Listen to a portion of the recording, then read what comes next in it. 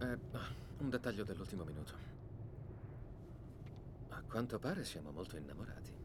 Di solito lascia decidere ai facchini questo genere di cose. Solo quando la storia è stata necessariamente breve.